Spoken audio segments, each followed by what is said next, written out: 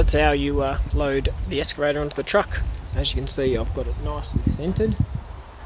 Um, blade is down and bucket is on the tray. There you go. That's how you do it.